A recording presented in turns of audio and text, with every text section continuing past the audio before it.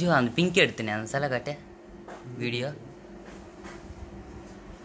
இப்போ மீட் பண்ணாமே போட்ட?